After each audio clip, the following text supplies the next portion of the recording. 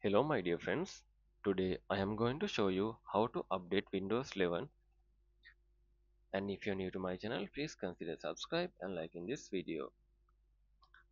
As the first step you need to go to start menu here and go to setting.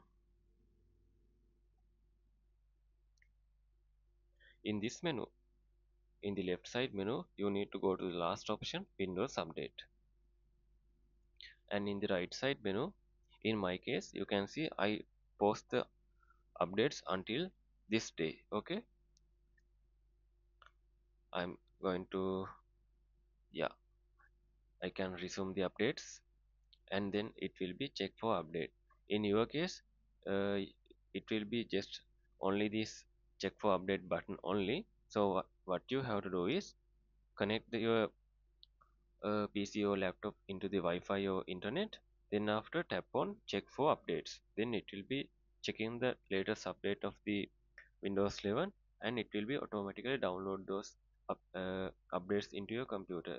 And please remember first you need to go to network and internet and go to Wi-Fi.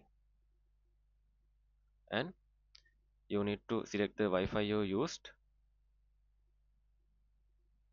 And you can see there is option called metered connection.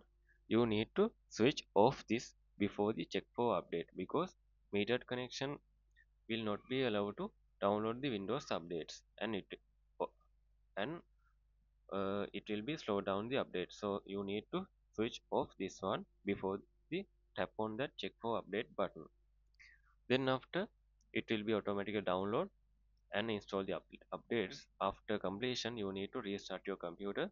Then that updates will be installed on your computer. So this is how you can check the updates in windows 11 so if you gain some knowledge from this video please consider subscribe and like in this video